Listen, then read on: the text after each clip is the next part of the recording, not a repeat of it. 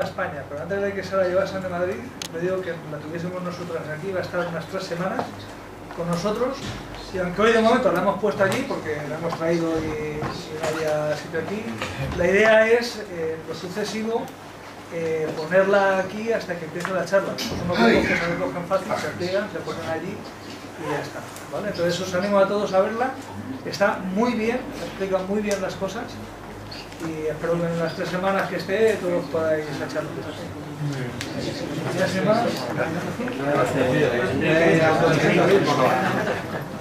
Bueno, supongo la mayoría me conocéis, soy Enrique Ordaz, llevo aquí en la agrupación unos cuantos años, estoy, hago colaboraciones con la Universidad Complutense en temas de, de física, soy físico, y en temas de física cuántica y de gravitación y cosmología.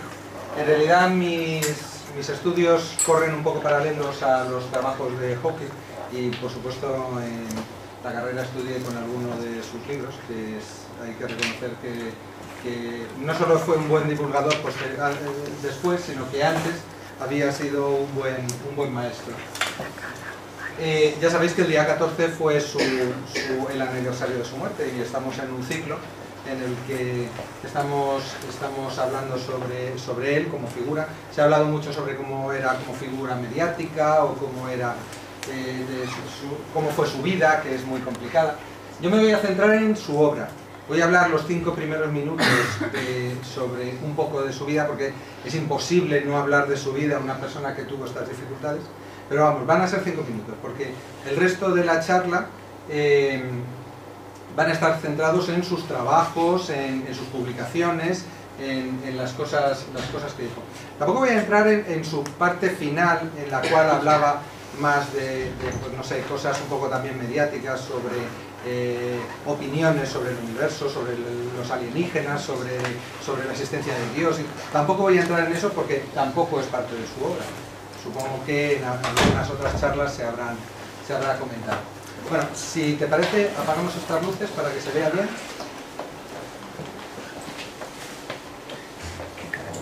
Bueno, eh, he utilizado esta imagen para, para empezar la charla porque para mí es una imagen que tiene como mucho, mucha importancia. Hawking, la mayor parte de su vida estuvo, estuvo eh, estudiando la gravedad y además la gravedad para él era, era una especie de losa que le dejaba sentado en su silla de ruedas.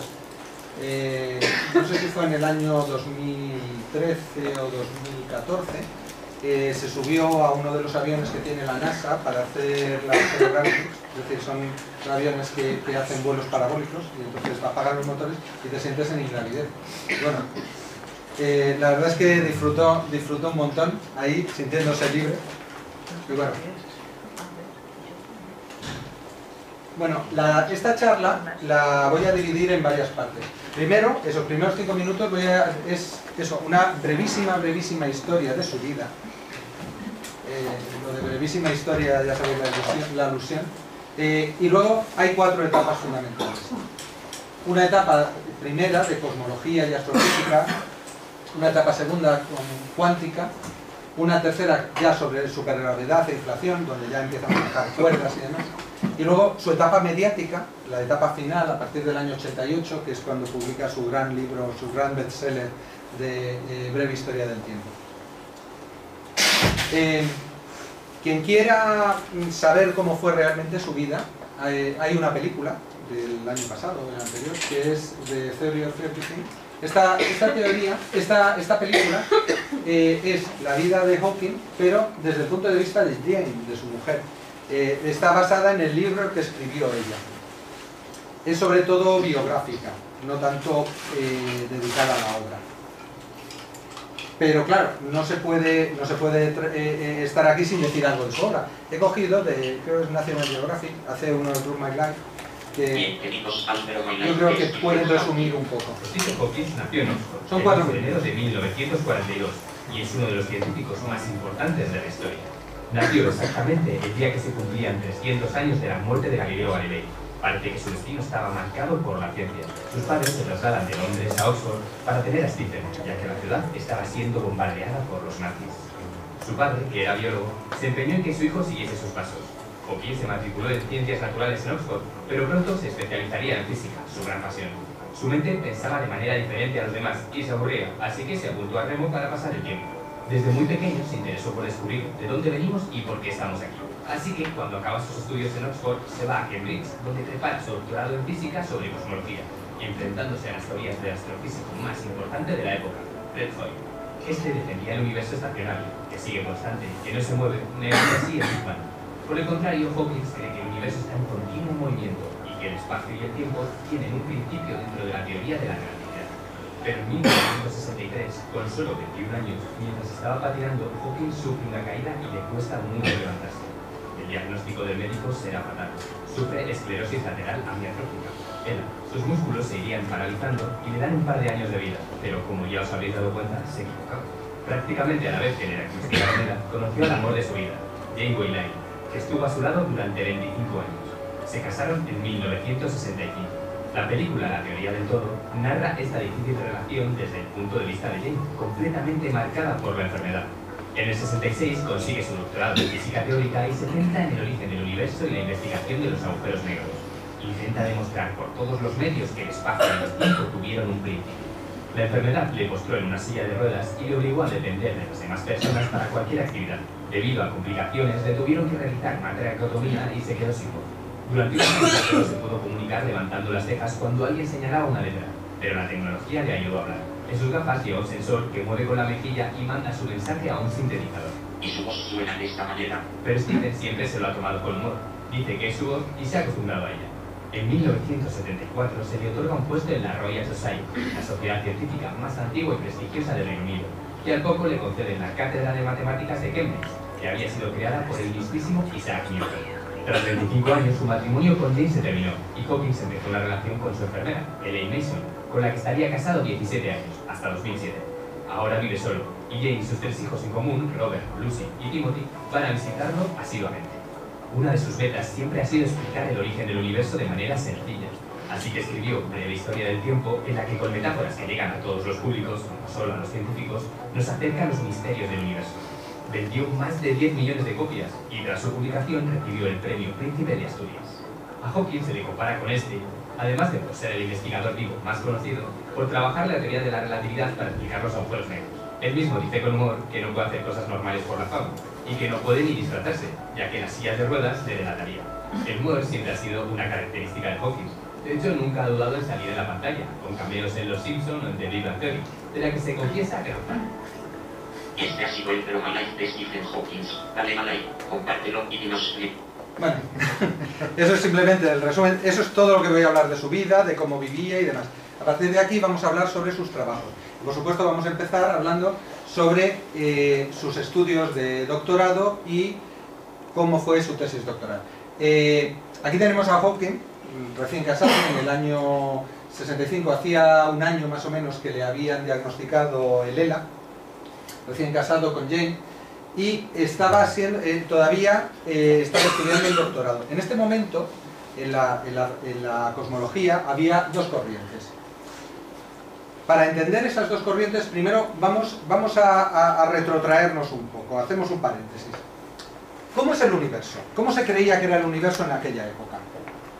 El universo, cuando lo miramos a, a gran escala, lo que vemos son, pues no sé, un montón de mm, puntos de materia, que pueden ser galaxias, pueden ser estrellas, distribuidos de manera homogénea por todo el espacio.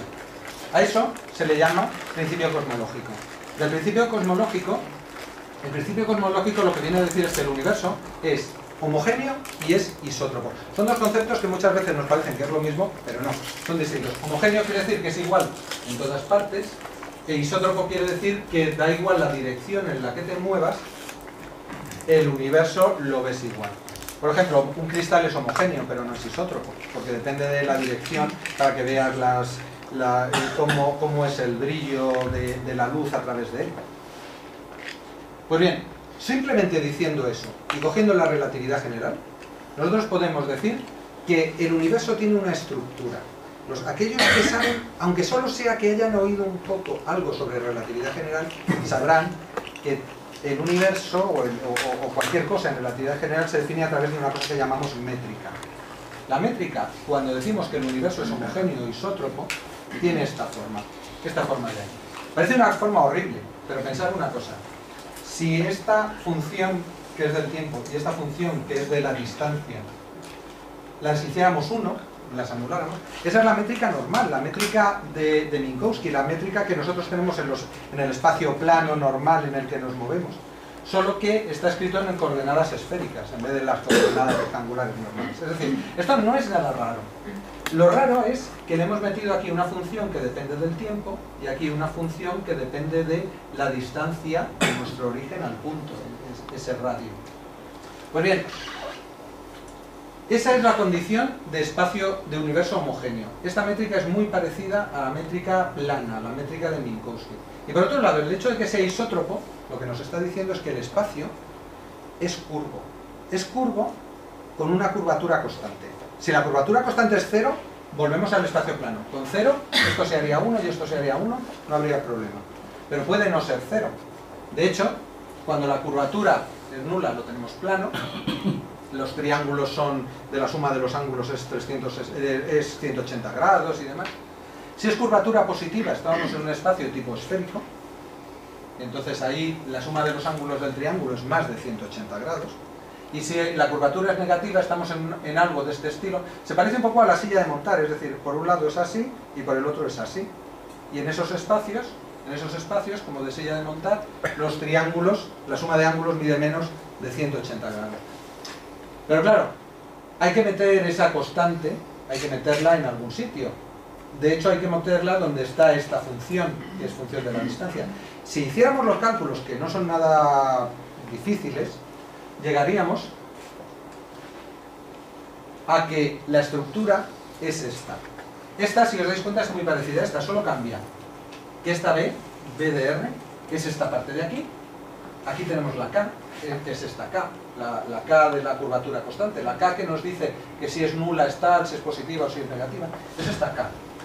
Y por otro lado, hemos sustituido esta función del tiempo, simplemente la llamamos S de t, seguimos sin saber qué es, pero es S de lo llamamos S cuadrado de t. A esa métrica, que lo encontró por primera vez Friedman, eh, eh, en los países anglosajones, en Estados Unidos, los países anglosajones, los llaman métrica de Robertson-Walker. Realmente fue descubierta primero por Friedman, luego por Lemaitre, como 10 años después, y por último, otros 10 años después, por Robertson Walker. Lo que pasa es que Robertson, Walker, y, Robertson y Walker eran más matemáticos, las estudiaron desde un punto de vista más matemático, con lo cual eh, sacaron muchas propiedades que los anteriores no habían sacado, con lo cual para mucha gente es la métrica de Robertson Walker. Bien, fijaros lo que os había dicho antes. Aquí tenemos una función que depende del tiempo y aquí es donde hemos metido esa curvatura constante, la hemos metido aquí. Todo eso, ya os digo, sale simplemente de considerar que el universo es homogéneo y isótropo, es decir, que cumple el principio cosmológico. Eh, partiendo de eso, partiendo de eso, de esa métrica, es decir, lo que teníamos aquí abajo lo he subido para acá. Vamos a ver cómo eso se desarrolla en los siguientes años. Pensar que el espacio sigue esto es también lo mismo que decir, ya sé cómo es su origen y cómo es su destino. De hecho, en los años 20, eh, a mediados de los años 20, eh, Lemet, el, segundo autor que tenemos aquí, eh, ya se intentó entrevistar con Einstein para hablarle de cómo eran la, las posibilidades de esta métrica y demás. En un principio Einstein no le hizo mucho caso, luego confirmó que efectivamente tenía, tenía razón Lemet. Y suponía que todo lo que es la métrica espacial está multiplicada por una función que depende del tiempo. Y la importancia es no ya solo la forma de la función, sino el hecho de que dependa del tiempo. Es decir, esto no es algo estático, es algo dinámico. Y sobre todo, probablemente, en expansión. Eh, realmente esa expansión del universo es observada, se, se observa desde muy pronto. Eh, ya en el año 14, 1914, Slipher la, observa, la, observa With y por último la observa Hubble. Hubble realmente debería ser recordado por dos cosas. Una porque es el que eh, se dio cuenta de que el universo estaba formado por galaxias. No eran estrellas más o menos distribuidas uniformemente en, en todo el espacio, sino que estaban en pequeñas islas a las que llamaron galaxias. Y la segunda, como él había descubierto eso, ya le era muy fácil ver cómo se movían las galaxias unas respecto a otras, a través del el espectro y cómo se desviaba hacia el rojo pues, eh, lo que es la banda del calcio y demás. Y no es que él dijera que el universo estaba en expansión, porque eso lo llevaban ya en Europa diciéndolo desde hacía unos cuantos años. Lo que pasa es que Hubble lo midió. Es decir, llegó a sacar cuál era esa constante de proporcionalidad que hay entre la distancia y la velocidad a la que se expanden las galaxias. Entonces, desde entonces a la ley se le llama ley de Hubble. Realmente se debería llamar ley de Lemaitre, porque él fue el que, el que estableció todo, excepto la constante de proporcionalidad. A la constante debería llamarse constante de Hubble, y a la ley, ley de Lemaitre. Pero, bueno, la- la ciencia no siempre es justa en estas cosas. Llegamos al año eh, 64-65. En esta época, ya eh, hemos dicho que Hawking era eh, estudiante de doctorado, tenemos dos corrientes. Por un lado, una corriente inglesa y por otro lado, una corriente americana con respecto a cómo es el universo. Aquí tenemos a Fred Hoyle. Si os acordáis del Drum My Life que hemos visto antes, decía que, eh, que Hawking se, se enfrentó a Hoyle. Realmente al principio no, porque era la corriente dominante, la del modelo de Hoyle. El modelo de Hoyle decía que el universo era estacionario. Aunque se estaba expandiendo, se creaba materia entre medias de las galaxias para que si una galaxia se había ido al doble de distancia de la que estaba antes, en medio se había producido materia como para, producir otra galaxia. De tal manera que eh, con el tiempo lo que veíamos era lo mismo. Hay una manera de verlo que es, que es esta. Ah, Esto sería algo más o menos pulsante. Imaginaros que fuera continuo el movimiento. Pues bien, en ese movimiento continuo, entre, conforme se van expandiendo las galaxias, por ejemplo, cada punto es una galaxia, pues se va creando materia para que se forme otra galaxia. Realmente la creación de materia hubiera sido muy pequeña. Lo que pasa es que la distancia entre galaxias, entre estrellas y demás, es tan grande que en una escala tan grande esa materia es considerable. Era una opción y lo admitía, lo admitía la métrica de, de Robertson Walker. La otra, la otra teoría era la teoría, pues la evolución de la teoría de Lemaitre. En, en los años 50 y 60, sobre todo eh, Gamow, Alfer y Gamow, habían, habían desarrollado una teoría que eh, era suponer que el universo había, se había, había habido una explosión desde un punto inicial que había sido la creación del espacio y del tiempo. Eh, Gamow había hecho una serie de cálculos para ver eh, si, se podía, si se podía con eso mm, pues eh, eh, calcular algo pues del estilo, por ejemplo, predicciones del tipo la cantidad de elementos que hay en el universo o qué cosas había. Y una de las cosas que se encontró es que si el universo había sido así, tenía que haber un remanente de una cosa que llamaron radiación cósmica de fondo, que era hay un momento en el cual la densidad, al principio la densidad es muy grande, la radiación está ahí eh, compactada y está chocando entre los átomos, no había átomos entre las partículas y tal, pero en el momento en que se forman los primeros átomos, empieza a haber espacio vacío entre medias y la radiación empieza a viajar libre y se forma, se forma esa radiación cósmica de fondo.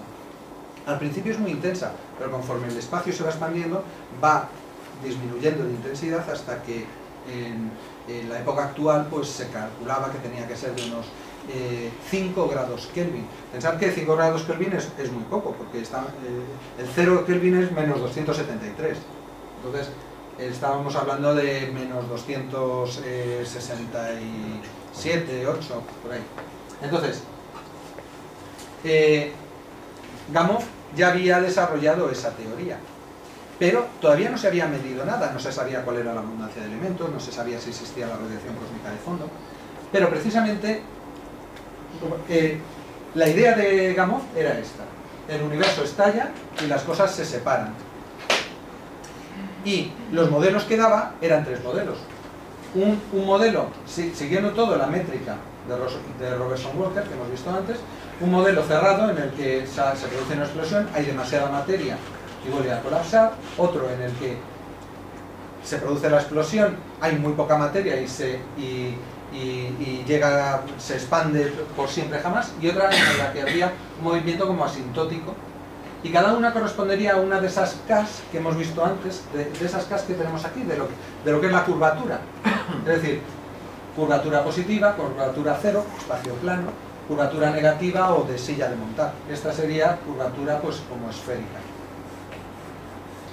Bien, eh, precisamente a finales del año 64, principios del 65, Pencías y Wilson eran dos físicos que estaban eh, intentando eh, medir, intentando ver si los primeros satélites que se estaban mandando al espacio, recordar que hacía 5, 6, 7 años se estaban mandando Sputniks y los americanos pues sus, correspondientes satélites.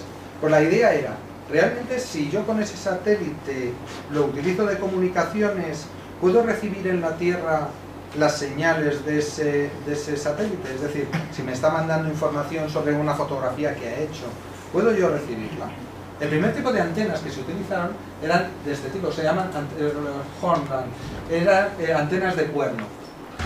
Eh, Pencías y Wilson intentaron pues, pues ver si, se podía hacer y descubrieron que había una radiación mínima, muy pequeña, muy pequeña, que no podían eliminar. Intentaron de todo, limpiar la antena pensando que era ruido, pensaron muchas cosas.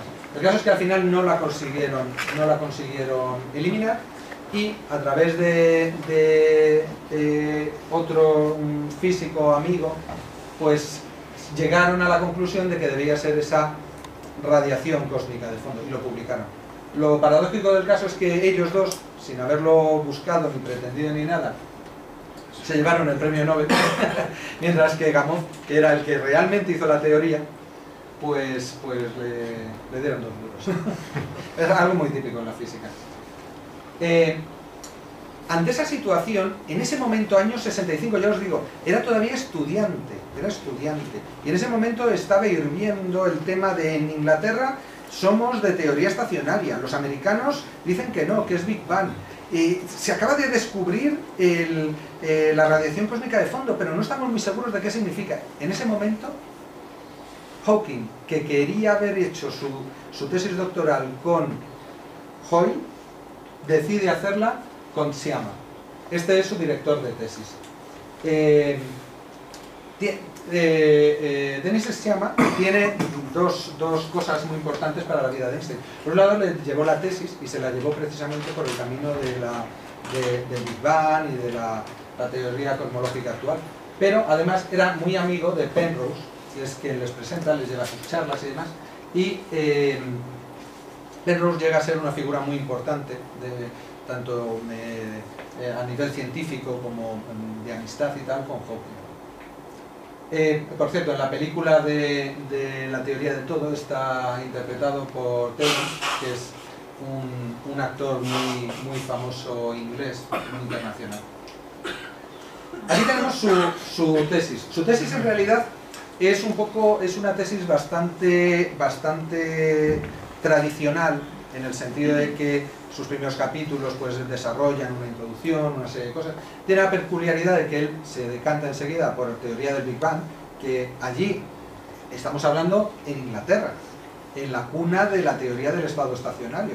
Pues un poco es una de las primeras tesis que empiezan a hablar sobre esto. Pero no solo eso, sino que él se basa en la métrica de Robertson Walker, habla de singularidades y habla de una cosa más importante, que lo voy a, lo voy a decir aquí, no os lo digo, os lo enseño. La teoría, cuando el, universo fuera cerrado, la teoría decía que hay un momento de expansión, un momento de expansión y un momento de colapso. Es más o menos esto. Hay mucha masa, entonces se expande y se colapsa. En ese caso, esta es la misma diapositiva que os he puesto antes, nosotros lo que tenemos ahí es una singularidad. Y esto es demostrable, esa singularidad. Y puedo calcular muchas cosas sobre esa singularidad. Es decir, como sobre cómo se puede producir ese colapso. Pues bien, la genialidad en la, eh, tesis de Hawking es que él lo que hace es coger y decir, ¿y si yo con todas mis ecuaciones cojo el tiempo y lo cambio de sentido? Es decir, le doy como marcha atrás en el tiempo. Este punto se me convierte en mi origen. Y entonces yo puedo definir, puedo demostrar la existencia de una singularidad en el origen del universo. Y eso es lo que resulta muy novedoso. Él no lo demuestra, no lo demuestra, pero lo apunta, y lo apunta de una manera que es contundente. Es decir, igual que yo puedo demostrar el colapso gravitatorio, que se venía demostrando desde tiempos de, de Schwarzschild, eh, eh, yo puedo llegar a demostrar la existencia de una singularidad en el origen del universo según el modelo de Big Bang. Y realmente eh, la continuación de su, de su trabajo, en los primeros años, van precisamente por llegar a demostrar esto. Ya os he dicho que, que Chama eh, presentó a Penrose, les presentó a Penrose y Hawking. Durante unos años estuvieron trabajando juntos, estamos hablando a partir del año 66, él ya es un doctorando, y un doctorado, y hasta el año 70, más o menos, eh, desarrollan una, una, una matemática, no es que la crearan de nuevas, ya existía, que, es una nueva manera de hacer una visión de la relatividad general. Cuando, cuando eh, se estudia la relatividad general, sobre todo hasta tiempos de Hawking, pues te empiezan a meter muchos tensores, y tensor de Ricci y, demás. Sin embargo, eh, Hawking, Haw- perdón, Hawking se da cuenta de que si yo lo que quiero es hacer una matemática más profunda para demostrar cosas como eh, que puede haber singularidades en el espacio-tiempo, yo tengo que ir más allá y tengo que darle una estructura a todo el espacio, no solo hacer ese tensor. Y lo que hace es una geometría diferencial en la cual introduce un campo tensorial, lo que llaman los espacios fibrados. Y entonces, con eso consigue hacer una serie de demostraciones, de teoremas. Tres son los importantes en esta época. Además tienen unos nombres muy peculiares. La existencia de singularidades, es decir, de, singularidad tal cual, lo que llama la censura cósmica y los teoremas de no pelo. Sobre, sobre las singularidades es muy obvio. Lo que demuestra es que es posible que se produzca el colapso y es posible matemáticamente. Y eso le permite demostrar que hay un origen en el universo, que en el caso del universo cerrado puede haber un colapso. Vamos a ver el tema de censura cósmica. Esto es con palabras del propio Hawking, palabras, en una charla en el año 87, 88, nada, es 30 segundos. Se- además se entiende muy bien. Einstein equations can't be defined as singularity. This means at this point of infinite density, one can't predict the future. This implies something strange could happen whenever a star collapsed. We wouldn't be affected by the breakdown of prediction if the singularities are not naked, that is, they are not shielded from the outside. Bien, lo que viene a decir es que cuando se produce el colapso gravitatorio se produce un- una singularidad. En esa singularidad dejan de funcionar las leyes, la- las ecuaciones de la relatividad, deja de funcionar todo, porque una singularidad es un punto en el que las cosas a lo mejor eh, tienden a infinito y demás.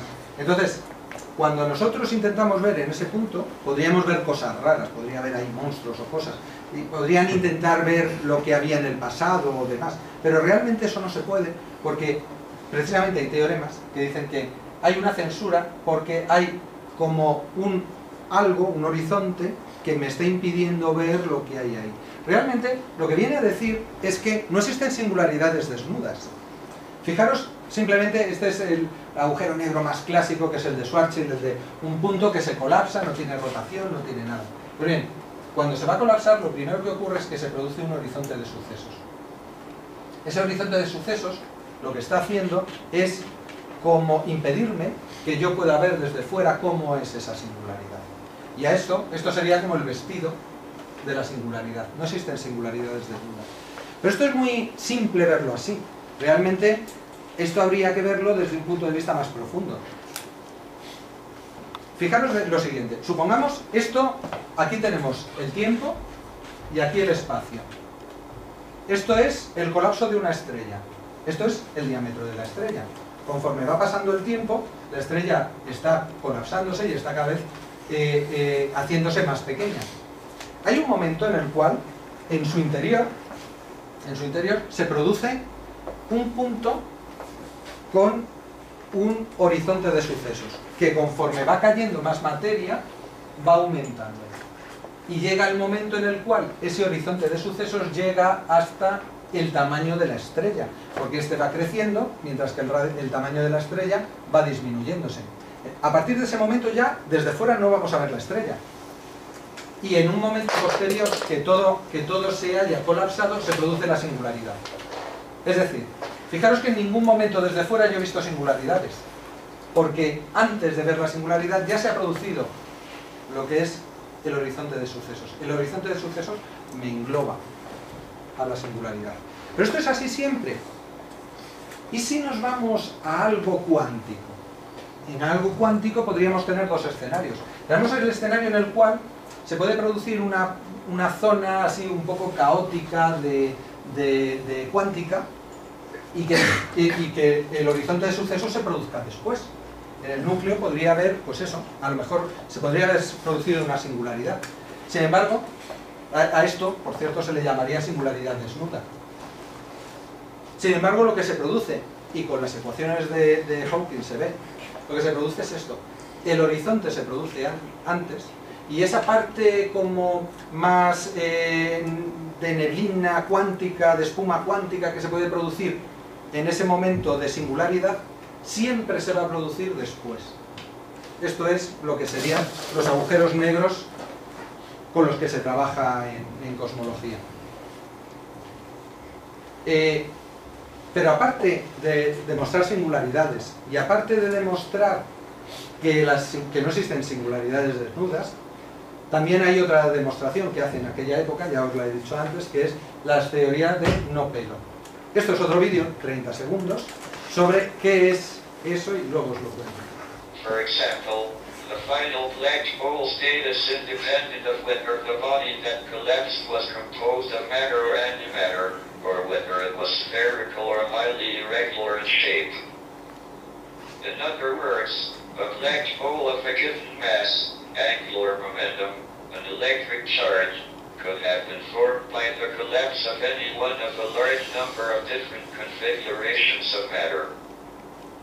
Bien, lo que nos está diciendo, el, el teorema de Nopelo, lo que viene a decir es, da igual lo que haya caído, pueden ser cosas esféricas o no esféricas, irregulares, materia o antimateria, eh, eh, tener el número de grados de libertad que sea, da un poco igual lo que caiga.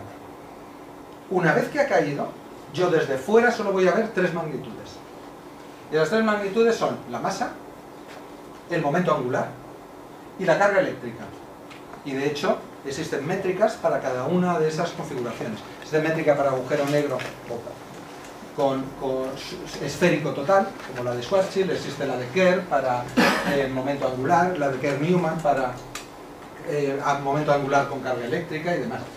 Es decir, esas son las tres únicas magnitudes que yo voy a ver desde fuera del agujero negro. No voy a ver las irregularidades de las cosas que han caído. A eso se le llama teorema de no pelo.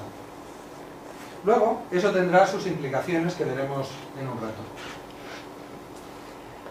A continuación de eso, de esas demostraciones, él desarrolló una serie de mm, como teorías que tenían un cierto paralelismo. Quizá lo más importante fue una especie de teorías como de la termodinámica de los agujeros negros. Y tiene que ver con lo siguiente. Él creó unas leyes paralelas a las de la termodinámica dentro de los agujeros negros. La primera ley de la termodinámica era equivalente a esta ley. Una ley en la cual aquí lo que tenemos es la energía, toda la energía que hay en el agujero negro, masa por la velocidad de la luz al cuadrado, y eso tenía que ver con tres factores, que son los mismos tres factores que hemos visto antes. Uno, con respecto a la masa. Aquí lo que tenemos es la superficie, la superficie de los horizontes de sucesos multiplicado por... Esto, esto tiene que ver con... Es que explicaros esto son como las superficies de potencial del, del propio, del propio agujero negro. Esto es el momento angular con la velocidad angular y esto es la carga con respecto al campo eléctrico. Es decir, cada uno contribuye a su, a su energía total. Bueno, os he puesto aquí un agujero negro en rotación porque tiene las particularidades de que tienen dos eh, horizontes de sucesos. Tienen un horizonte de su- sucesos interno y externo. Es decir, también las cosas de dentro ven un horizonte de sucesos aquí. y aparte, bueno, la, la singularidad no es puntual, en- tiene forma de anillo. Me ha parecido curioso ponerlo porque, para que no penséis que todos los agujeros negros son iguales y tienen su singularidad puntual y demás. Había una segunda ley de la termodinámica que tenía su reflejo en una ley de los agujeros negros. Aquí lo que decía es, si yo tengo dos agujeros negros que se, que se unen para formar uno solo, en un colapso, pues la superficie, la suma de las superficies de los dos agujeros negros, individualmente, es inferior a la, suma, a la superficie de la suma. Es decir, el agujero negro resultante, su superficie es mayor que la suma de los otros dos. Eso, en un principio podría parecer un poco extraño, porque parece que agujero negro es pequeño y al colapsarse dos deberían dar algo pequeño, más grande que los anteriores, pero tanto como para que sea mayor o igual. Y esa, esa es la, la particularidad, es mayor o igual. Y es que, de hecho, Hawking se da cuenta de que hay un concepto de termodinámica que es la entropía, que yo lo puedo relacionar muy bien, es esta S, lo puedo relacionar muy bien con el área. Todo lo demás que hay aquí son números. El número pi, la constante de Boltzmann, la velocidad de la luz, el número 2, la constante de Planck y la constante de gravitación universal. Hay una relación entre el área y la entropía. Ahora veremos qué es la entropía.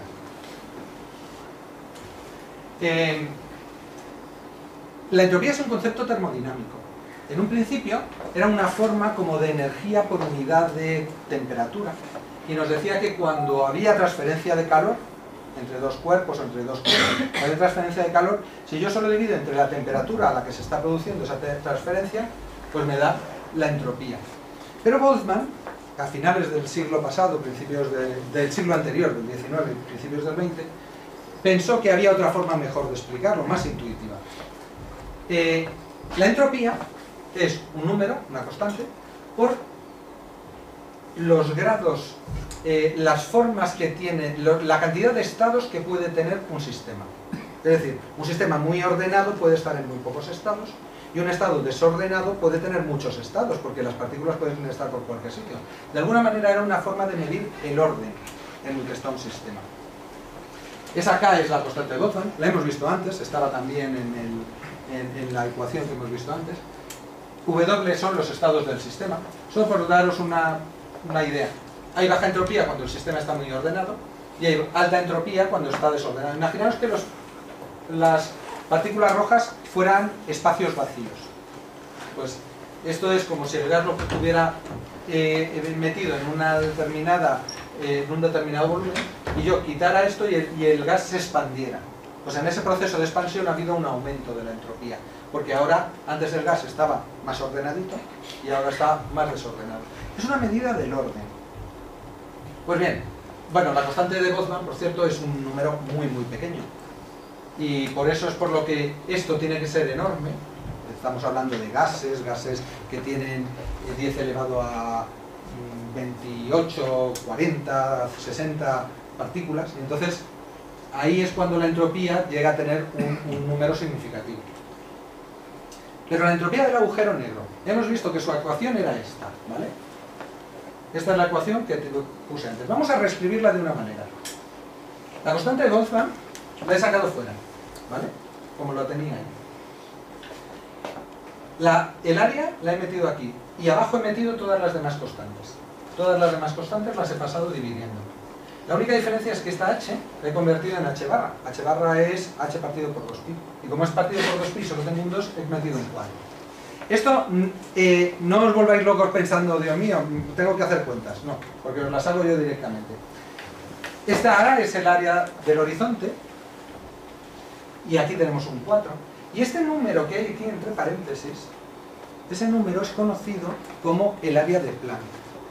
Planck, eh, eh, a partir de la constante de Planck se puede construir una serie de, eh, un, sistema de, de unidades en el cual se puede considerar cuál es la distancia mínima, el área mínima y tal, donde se producen cosas como la espuma cuántica y demás. Pues ese, área es el área de Planck.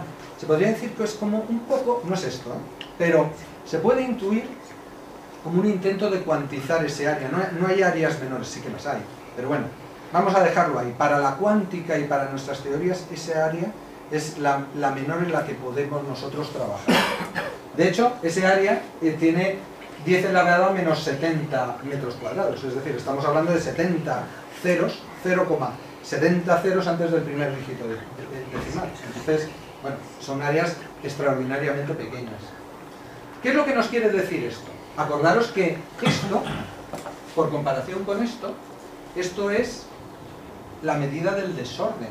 O el desorden, a veces, cuando está ordenado algo, también nosotros decimos que es la información que nosotros somos capaces de meter en algo.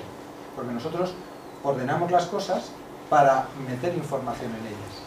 Entonces, si nosotros lo tenemos así, esto es como si toda la superficie del horizonte de sucesos lo hubiéramos dividido en trocitos, cada uno del tamaño del área de Planck. Esto es un área de Planck, cada uno de estos. Pues bien, cada cuatro trozos de un área de Planck es una unidad de entropía. Y eso era lo que venía a decir Hawking. Es decir, la entropía la tenemos aquí metida, dentro de, dentro de lo que es el horizonte de sucesos. ¿Vale? Bien, vamos a pasar, eh, eh, llegamos, llegamos al año 73. Seten- en el año 73 Hawking, como ya habían empezado a desarrollar, cuando, cuando nosotros estudiamos la, la relatividad general, pues lo estudiamos con libros, pues no sé, que son de, Landau, casi todo el mundo estudió con, Landau, es un físico ruso que con él pues tú ves tus, tus, eh, tensores y demás. Pero sin embargo, Hawking, Penrose y, y la gente de esta generación estaban haciendo una cosa distinta, estaban metiendo todo desde el ángulo de la eh, geometría diferencial. Entonces eso obliga a que empiecen a escribir libros que ya desarrollan un poco más eso. Este es uno de los primeros. Este libro yo lo, lo estudié en la carrera, no, no el libro en sí, lo, lo utilizamos de guía en algún momento. Es un libro que está bastante bien. Os saco una, una diapositiva de él, simplemente una imagen, porque vamos a, a hablar solamente de un detalle sobre el libro. Esto, supongo que casi todos lo conocéis lo que es, es, es el, el cono, el cono del, del pasado y del futuro en relatividad especial. Para aquellos que no lo saben, vamos a verlo en un minuto lo que es. Supongamos que yo tengo unas coordenadas en las cuales aquí tengo el espacio y aquí tengo el tiempo. El tiempo lo he multiplicado por la velocidad de la luz para que sea algo eh, que, sea comparable con, con el espacio, espacio y tiempo, de tal manera que si yo tengo un haz de luz que sale desde el origen, se moverá en un ángulo pues de 45 grados si yo lo he hecho así exactamente, de 45 grados. Eh, esto sería un haz de luz que viene desde donde sea, pasa por mi origen y continúa. Pero yo también puedo hacerlo que en vez de venir desde el menos infinito menos infinito de, de estas dos ejes, venga desde el más infinito menos infinito de estos dos ejes. Es decir, ambos vienen desde el pasado, pero uno viene desde el lado de la izquierda y otro desde la derecha. Coinciden en este punto y se separan. Estos dos, estos dos haces de luz me han dividido al espacio en dos regiones fundamentalmente. Fijaros, sabéis que de relatividad nada puede viajar más rápido que la luz, a no ser el propio espacio, pero nada puede viajar más rápido que la luz. Entonces, una partícula que se mueva se va a mover por aquí. Si estuviera en el origen y se empieza a mover, se va a mover en esta región.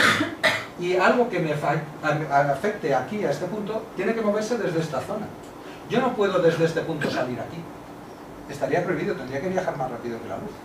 Entonces, hay una zona que es como alejada, separada, aislada, y una zona que es de futuro y una zona que es de pasado. Esto, si no nos centramos en el origen, sino en un punto cualquiera, cualquier suceso puede tener, puede ser la causa de otro suceso que se produzca aquí en este cono de futuro, o puede ser el resultado de algo del pasado pero que esté aquí.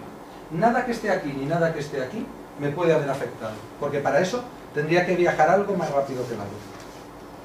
Si lo hacemos en más dimensiones, es decir, x, eje, y, esto se convierte en un cono. Y ese es el ejemplo del cono que hemos visto antes. Aquí está el movimiento permitido y estos son los movimientos no permitidos. Bien, ¿para qué os cuento toda esta historia? Os lo cuento porque cuando yo estoy en relatividad general, estos conos también existen. Lo que pasa es que los conos van a estar deformados. Porque la velocidad, la luz, no sigue una línea recta, sigue una cosa que llamamos geodésica, que visto desde fuera nos parece que es curvo. Esto es, por ejemplo, lo que ocurriría cerca de un agujero negro.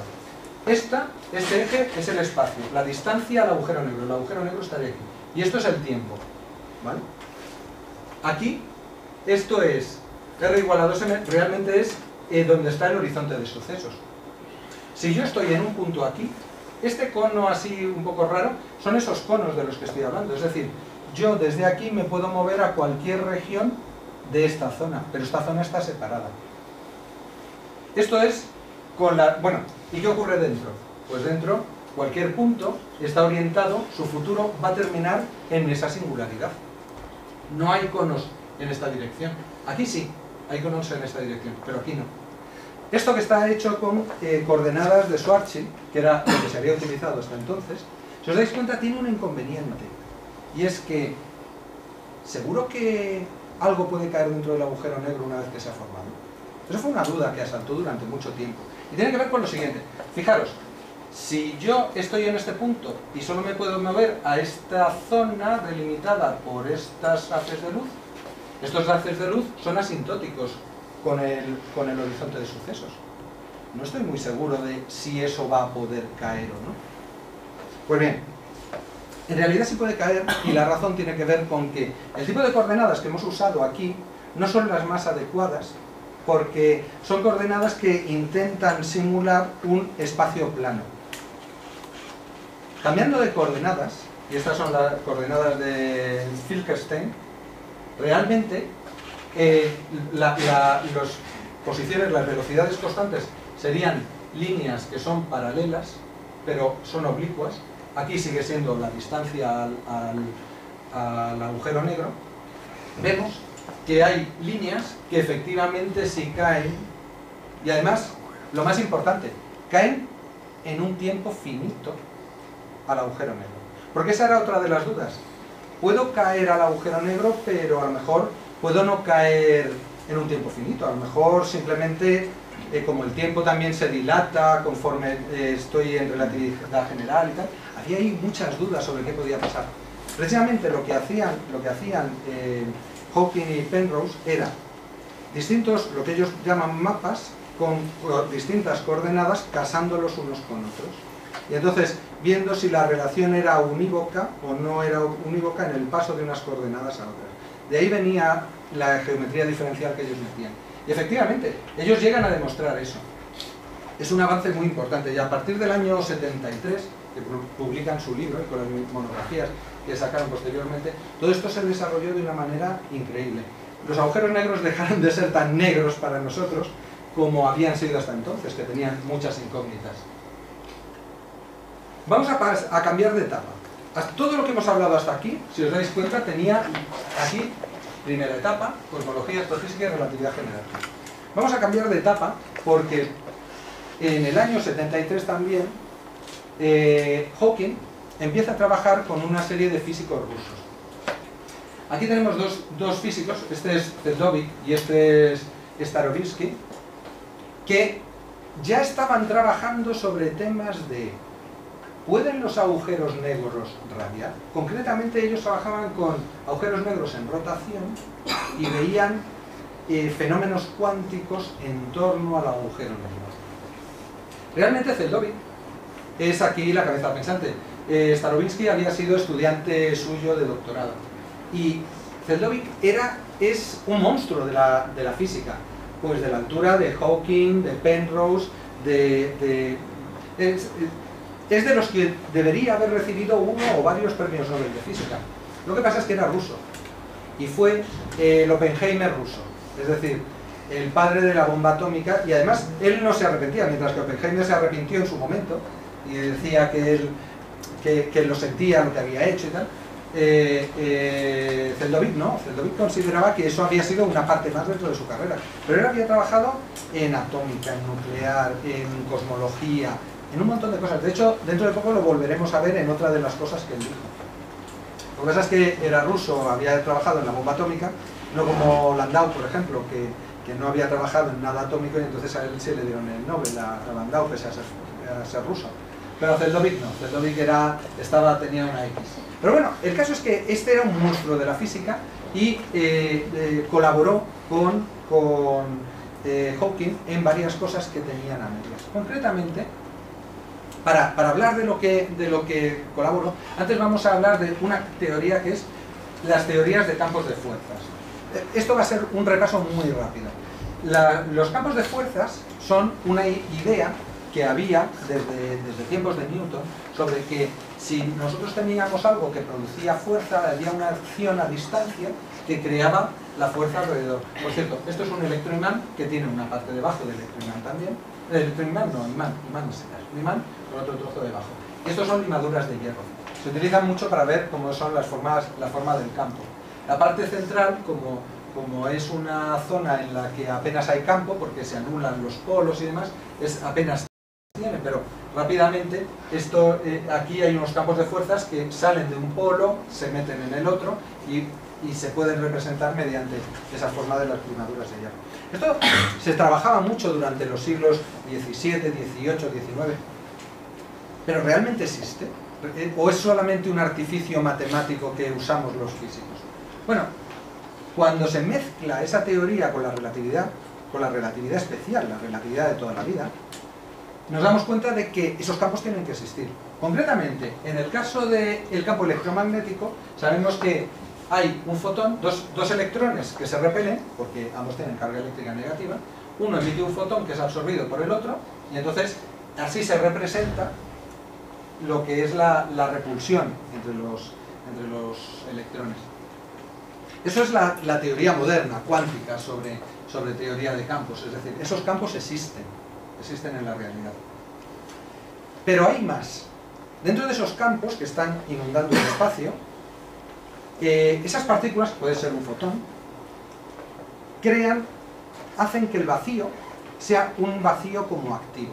Ahí hay partículas, partículas que se crean y se destruyen, pues tipo electrón-positrón.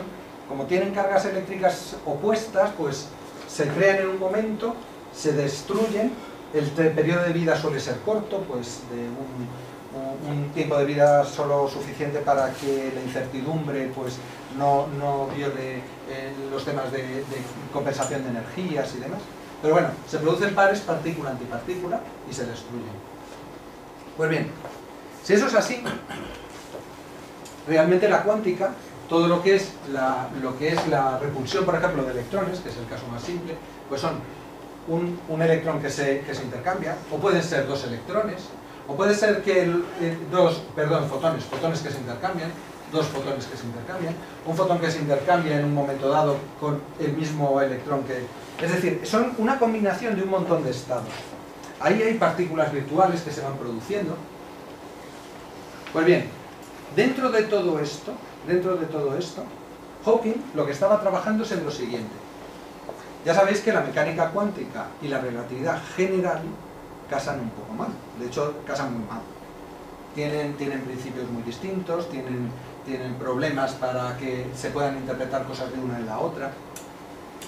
Él tenía su mecánica cuántica y, tenía su relatividad general con espacios curvos.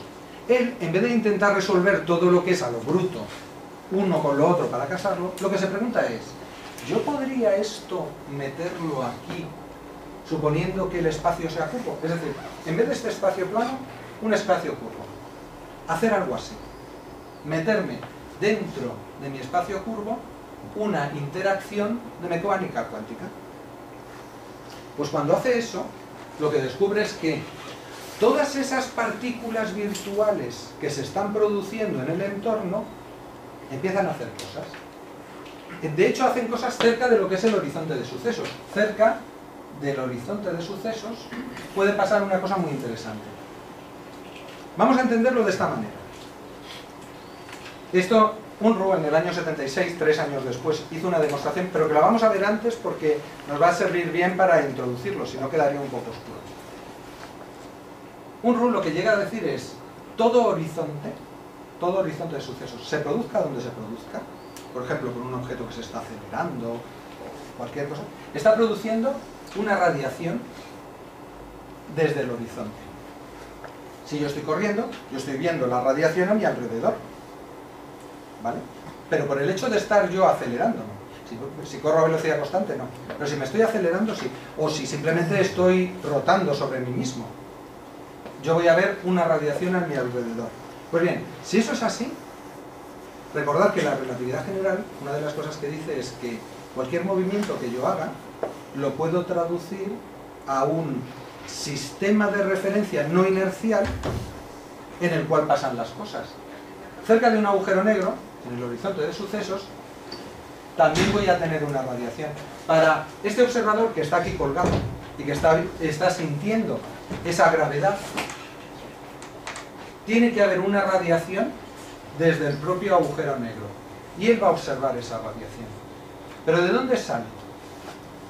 ¿Os acordáis de los pares partícula-antipartícula?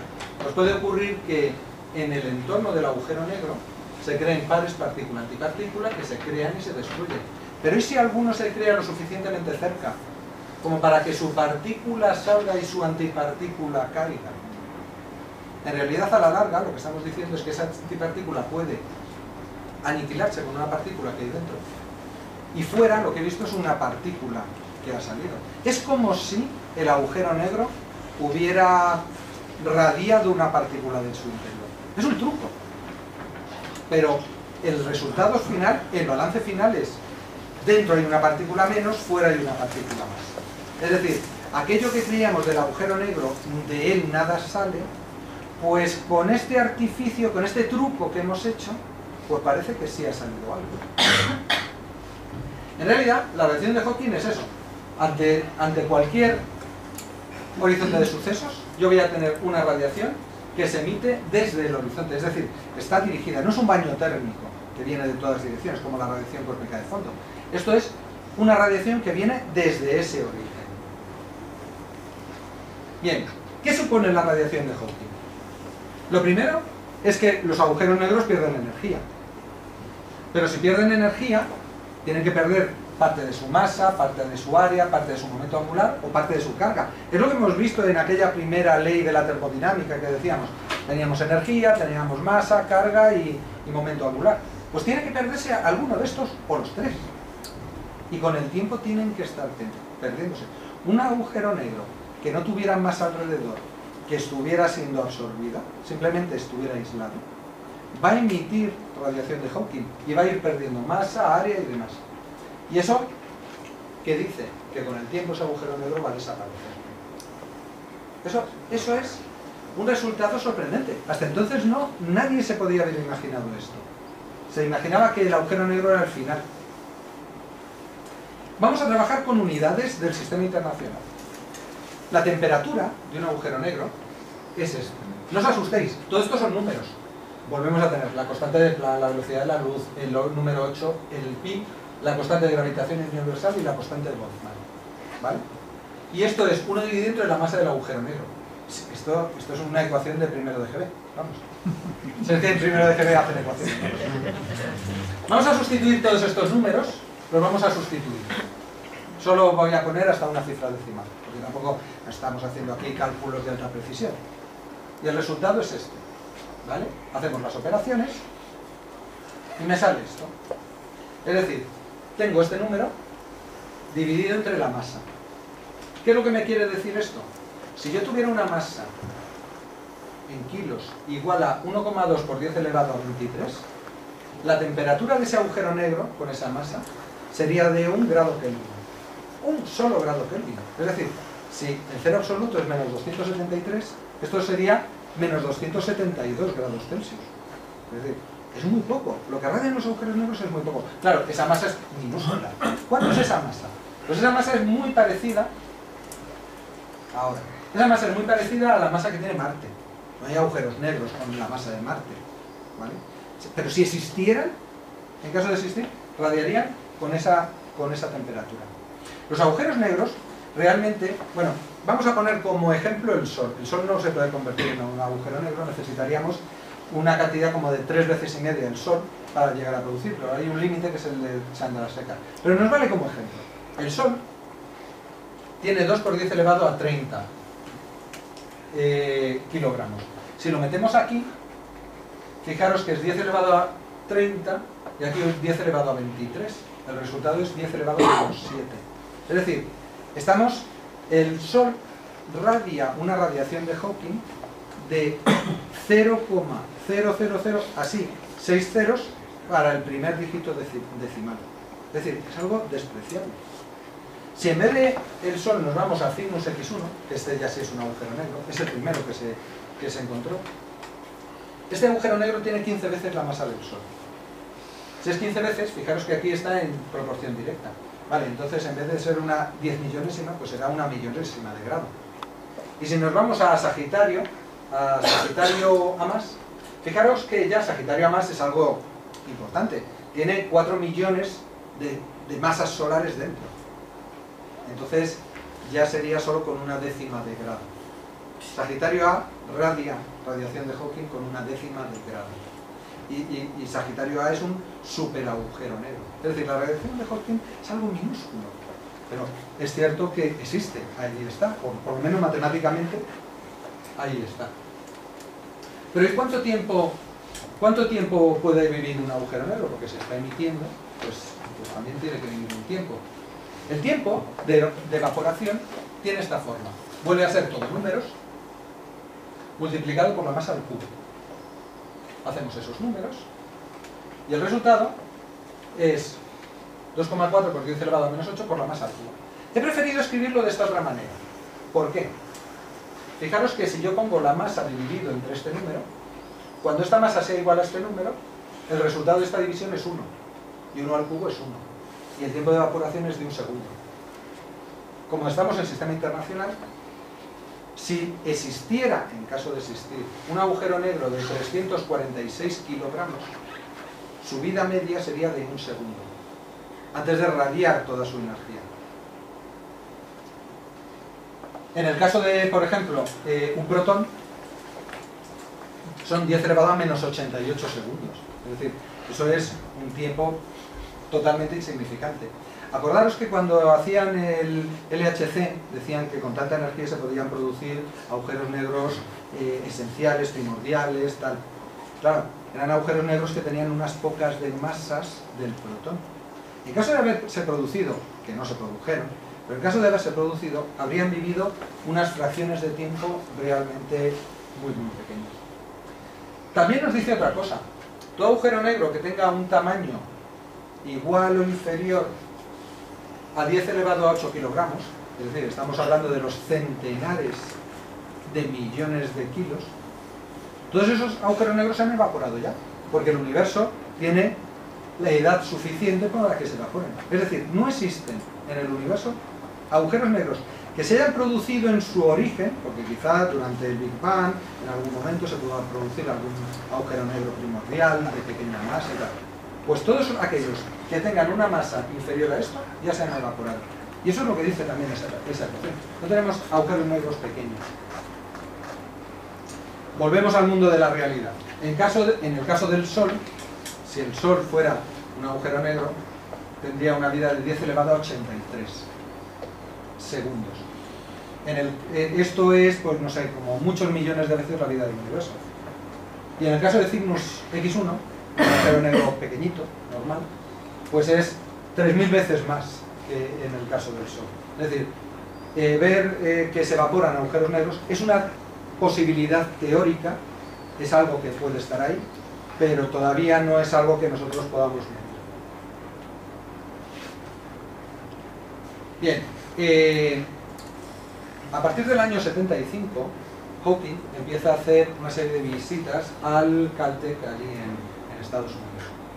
Aquí tenemos eh, un equipo con el que se reunía, de ellos el auténtico cerebro, es aquí Kip y aquí tenemos a Hawking. ¿Qué era lo que estaba haciendo allí? Resulta que en esa época, eh, volvemos a Zeldovic, Zeldovic años antes había dicho que si existieran los agujeros negros, estos eh, tenían que radiar debido a que los discos de acrecimiento de masa que cae a su interior tienen que hacerle emitir jets que radiarán en rayos X. Hoy en día sabemos que son rayos X y rayos gamma, pero cuando menos rayos X. Es decir, hay un disco de acrecimiento, va cayendo la masa y emite unos jets en forma de rayos X. Es decir, las radiofuentes que nosotros observamos pueden ser agujeros negros que están tragándose, tragándose materia. Hawking había trabajado con, con Zeldovik en unos años antes y lo que hizo, lo que hizo fue irse al Caltech a trabajar con Thorne y su equipo.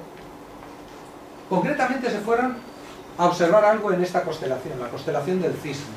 Aquí, cerca de ETA, había una radiofuente que estaba en la estrella 226868, muy cerca de. Y lo que se creía es que esa radiofuente era un agujero negro que estaba absorbiendo a la estrella, estaba como fagocitándola, y esa materia que caía le hacía emitir en rayos X. Efectivamente, aquello se demostró que, que era un agujero negro, y realmente a esa, a esa hoy la llamamos Cygnus X1. Fijaros que hoy os he hablado varias veces cuando hacíamos los cálculos sobre Cygnus X1. Era precisamente por eso, porque porque eh, eh, es, es, un agujero negro que está muy relacionado con, con, el, trabajo, el trabajo de Hawking. Realmente los descubridores de agujero negro fueron los dos. Se puede considerar que quizá más, más práctico. Y bueno, si alguna vez pudo estar cerca Hawking de, de de obtener el premio Nobel pudo ser aquí. Entonces es que en el premio Nobel se busca que la persona sea físico teórico y físico práctico y esto es casi el único trabajo, aunque él dentro del equipo fue más teórico, pero bueno, pues quizá esto podría haber sido un premio Nobel de los años 80 o 90 por, por el descubrimiento. Aquí tenemos a Kip de la época. Realmente Kip lo tenemos aquí, hace, hace un par de años ya le dieron el premio Nobel, por eh, detectar las ondas gravitacionales. Aquí lo tenemos como 30 años más viejo. Y, realmente fue el, cerebro, se puede decir, del descubrimiento de las ondas gravitacionales. Weiss fue, fue parte del equipo y Baris fue el que terminó, pero ya estaba todo montado y fue el que hizo mucho, se merecieron los tres el premio Nobel, pero el verdadero cerebro era Kip Bueno, Einstein no consiguió el Nobel, Pero sin embargo consiguió mucho. Entre el año 75 y el 79 es su época dorada. En el año 75 regresa a Cambridge y eh, regresa como reader en física gravitacional. Entre el 75 y el 80 es un periodo en el cual pues, eh, empieza el auge de qué son los agujeros negros. No sé si os acordáis, antes no se hablaba nada de eso y de repente un día se empezó a hablar. Y es en esa época, entre finales de los 70, principios de los 80. Y, Hawking estaba en, toda conversación, en todo programa de radio, de, televisión. Además, por su aspecto, pues resultaba muy, muy, muy...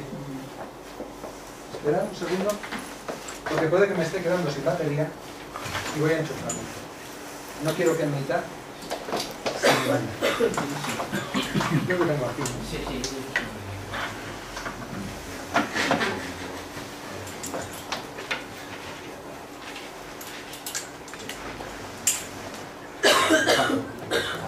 Bien.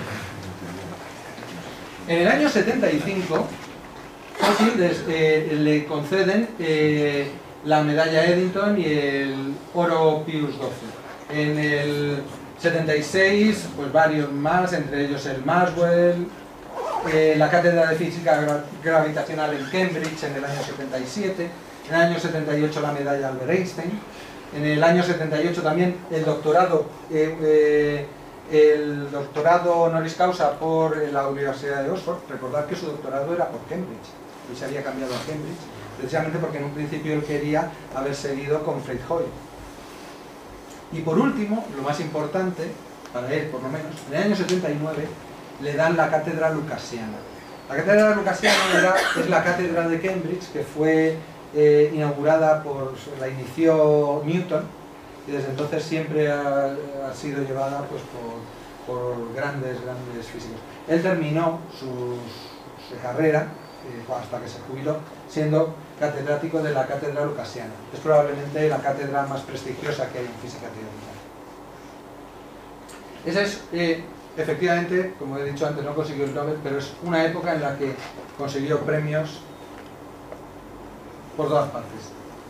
Eh, de todos modos, con, con Kip Thorne tuvo una, una pequeña... Bueno, primero con Saskin.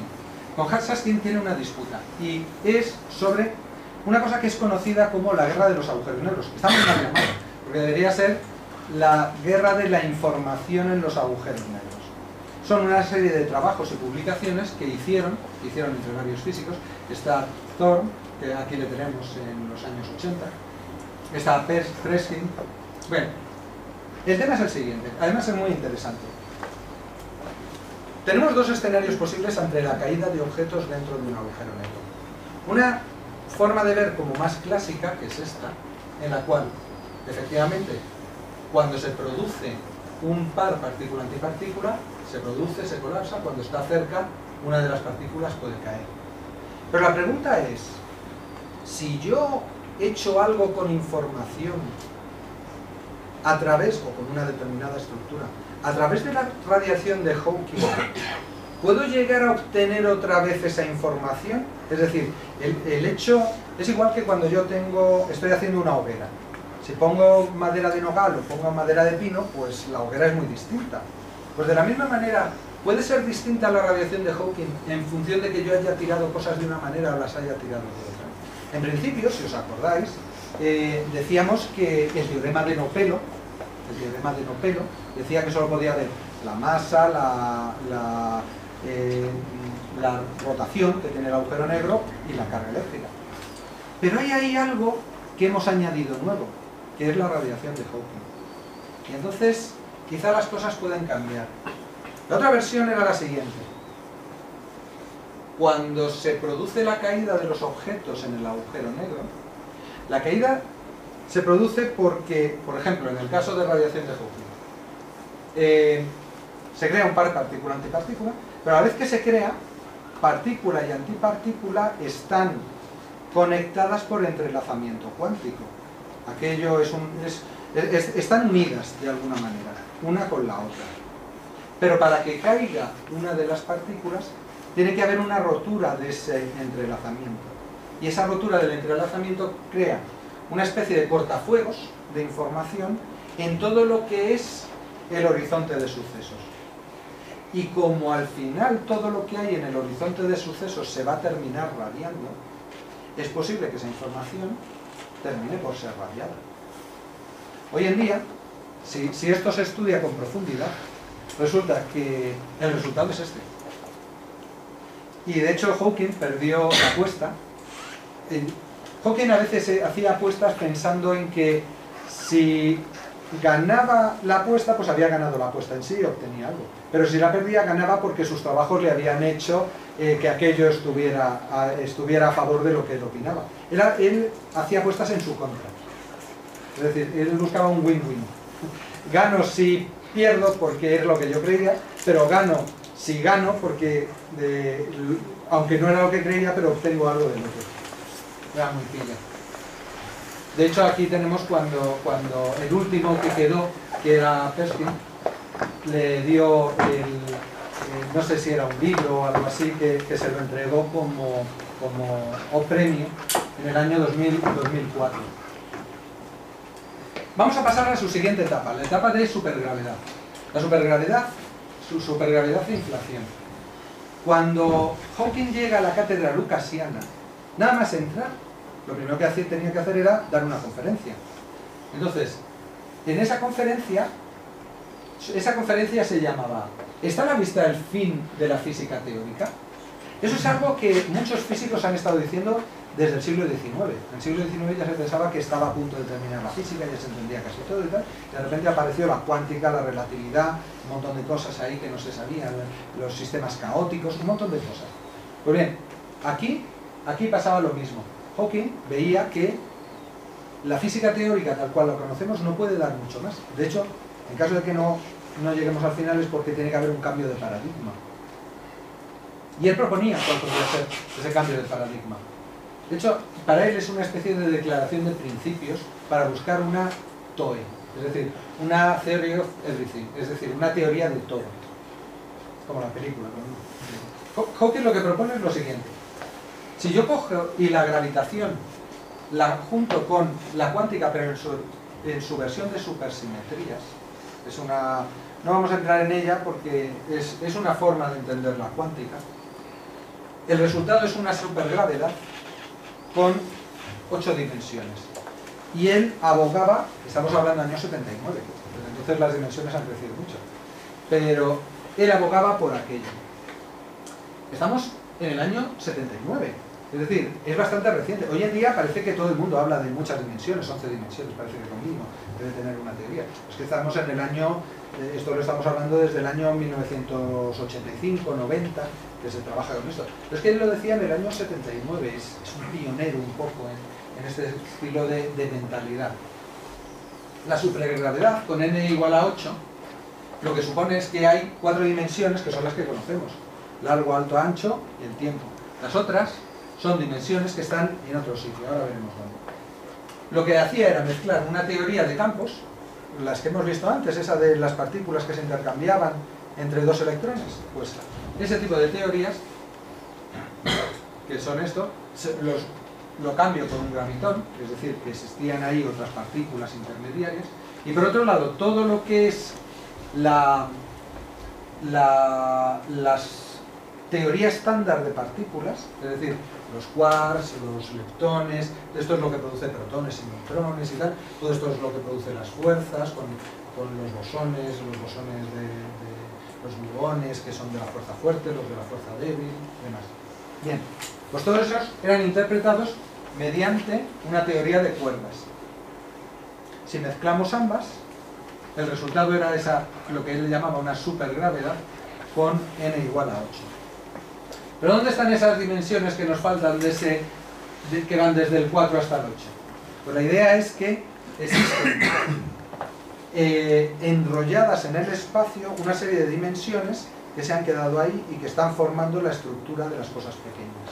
Esas, esa- esas dimensiones enrolladas se les llama variedades de Calabi-Yau. Y entonces, encontrar cómo es esa variedad es la clave de cualquiera de las teorías de, cualquiera de las teorías del todo, las teorías que compaginan relatividad y cuántica. De hecho, en el año 85 no es el propio Hawking, es Brighton, pero Hawking se apunta al carro inmediatamente, es de los que se da cuenta del potencial. Se da cuenta de que trabajar con todas las variedades de Calabi-Yau y en todos los tipos de eh, cuerdas es, es un lío, pero hay una serie de eh, teoremas y de desarrollos que son comunes a todas ellas. Y esos desarrollos comunes se pueden incluir dentro de una teoría que llamaron teoría M. Nadie sabe muy bien de dónde viene la M, puede ser de Mendel o de Magic o de... que une todos los tipos de teorías de cuerdas. Pensad que además cada teoría de cuerdas, por ejemplo, esta es la clásica que, que todos tenemos en la cabeza de una cuerda vibrante. Pues eh, todas estas teorías de cuerdas a su vez tenían un montón de teorías dentro de cada variedad de Calabi-Yau que, que nosotros consideráramos. Con lo cual, esto era un universo de teorías. Y era buscar aquello que fuera común. Y eso es en lo que estuvo trabajando Hawking durante bastantes años. Ya sabéis que las teorías de cuerdas se vinieron abajo, sobre todo con, con el descubrimiento del bosón de Higgs. Porque ahí hay una... eh, la teoría de cuerdas se basa en que la masa de las partículas tiene que ver con la vibración de la cuerda. Cuanto más vibra, más masa tiene. Tiene mucha lógica porque yo tengo un objeto que vibra y lo lanzo a una determinada velocidad por contracción de Lorentz, aquello va a vibrar mucho más. Y si es así, su masa aumenta. Y es que realmente es lo que nosotros vemos desde la relatividad. La masa aumenta de las cosas en movimiento. Tenía, tenía muchas implicaciones y, y parecía que funcionaba muy bien. Pero hay un problema. El bosón de Higgs. El bosón de Higgs se supone que es el que da masa a las partículas. Si no existiera el bosón de Higgs, si no existiera el campo de Higgs, las, masas, las partículas no tendrían masa y viajarían todas a la velocidad de la luz. Hay una duplicidad. O la masa es la vibración de la partícula o es, o es el bosón de Higgs quien se la da. Y eso hizo que desde el bosón de Higgs estas teorías de cuerdas cayeran un poco en desuso. Pero Hawking, aparte de eso, trabajó en otra cosa, que es teoría de la inflación. La inflación es una teoría... Me voy a pasar un poco de la hora, lo siento porque me gustaría haber terminado a las 9. Vamos a terminar a las 9 y muy poco, pero bueno, va- vamos a ver si con- lo conseguimos. Además es que la inflación es una cosa en la que yo he trabajado mucho, con lo cual se nota que, que a mí me gusta. La inflación es un fenómeno que se produce en el- los primeros instantes del Big Bang. El Big Bang tiene varios problemas, tal cual lo conocemos. Uno es que no explica el origen de las estructuras, no explica los problemas de los horizontes y no explica la homogeneidad de las temperaturas. Son tres, son más. La razón, básicamente, de no explicar todo esto es lo siguiente. Cuando se produce el Big Bang, todas las leyes de la física son simétricas en todas direcciones. Si el Big Bang se produce de, un instante, de una singularidad, todo debería haber sido homogéneo, absolutamente homogéneo. Y de hecho, la relación de- de fondo es muy homogénea, pero en un 10 elevado a menos 5 existen pequeñas inhomogeneidades. Y de hecho, si nosotros miramos el universo, lo vemos no absolutamente homogéneo. Sí es cierto que las galaxias más o menos se reparten inversamente y no sé qué y tal, pero aquí estamos nosotros que somos inhomogeneidades dentro de ese espacio. Es decir, no es todo esto un continuo de materia, sino que eh, hay individualidades y tal. Entonces, hay algo raro ahí, hay algo que no casa, algo debió pasar para que hubiera esas inhomogeneidades. Vamos a centrarnos primero en el origen de las estructuras, porque quizá es el más fácil. El origen de las estructuras lo que viene a decir es que el universo está formado por eh, cosas, estrellas y tal, y entre medias espacio vacío. Las, las estrellas se juntan en galaxias y entre galaxia y galaxia mucho espacio vacío. Las galaxias se, eh, eh, se juntan en cúmulos y entre el cúmulo y cúmulo hay mucho espacio vacío. Es decir, lo que tenemos son algo muy homogéneo, efectivamente, que es sobre todo mucho espacio vacío, pero tenemos estructuras. Y no sabemos el porqué de esas estructuras. Realmente la radiación cósmica de fondo es muy homogénea. Es decir, es eh, mm, eh, 2,7 grados Kelvin. Y eso es lo que midieron eh, Pencías y Wilson. Pero realmente eso no explica, esa homogeneidad no explica el origen de las estructuras. Tampoco, otro de los problemas, el problema de los horizontes. El, radio del universo yo no lo puedo retrotraer hasta el final de una forma, eh, de una forma lineal, que sería la forma propia según la ley de Hubble. Tiene que existir en algún momento algo que me diga que ha habido una expansión mucho más rápida. A esa expansión más rápida la llamamos inflación. Pero para la inflación lo que hace es que el espacio, acordaros que he dicho, nada puede viajar más rápido que la luz, siempre que sea material. El propio espacio sí, el propio espacio puede hacer que las cosas viajen más rápido, pero es encima del propio espacio. No es porque yo lo haya acelerado. Pues bien, en la inflación se supone que el espacio va más rápido y genera regiones causalmente inconexas y dentro de ellas otras regiones también a su vez causalmente inconexas y va creando distintas como capas y cada capa va a crear las distintas estructuras que nosotros vemos. Vamos, realmente, bueno, esto es una descripción, la inflación lo que deja es grandes regiones de espacio vacío que separan regiones causalmente conexas. Y dentro de cada región causalmente conexa hay grandes espacios vacíos con regiones causalmente conexas. Y así hasta se calcula que 10 elevado a veintitantos veces. Es decir, todas esas veces se plegó el universo para crear distintos tipos de estructuras. Eh, hay una manera de ver esto, el problema de los horizontes. Esto lo voy a pasar para no, para no eh, eh, alargar más, pero que quiero que veamos dos vídeos sobre el problema de la homogeneidad de temperaturas. Esto, el programa de redes eh, hizo un, monográfico sobre eh, eh, inflación. Ya sabéis, ese programa que, que lo llevaba Punset. Y entonces hicieron dos vídeos que la verdad están, están bastante bien y quería que escucharan. Si tiramos la primera ficha de un dominó, van cayendo todas hasta tumbar la última. Para que las fichas de los extremos hayan terminado en el mismo estado, tumbadas, las del medio lo han tenido que transmitir. Han ejercido de mensajeras. Esta transmisión ha llevado un tiempo determinado. Esta misma situación sucede para la temperatura. El Sol, por ejemplo, usa los rayos de luz para calentar la Tierra.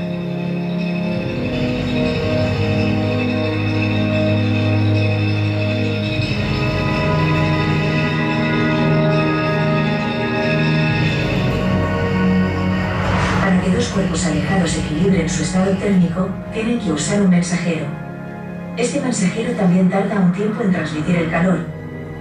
Según la teoría de la relatividad, la luz es el mensajero más rápido posible porque nada puede ir más rápido que ella. Sin embargo, si miramos el conjunto del universo nos encontramos con una paradoja.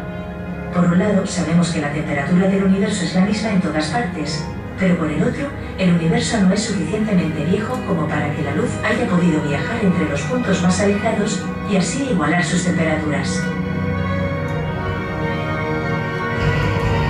Imaginemos que este espacio es el universo observable.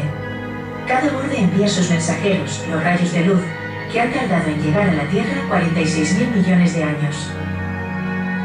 Estos mensajeros aún no han llegado al borde opuesto.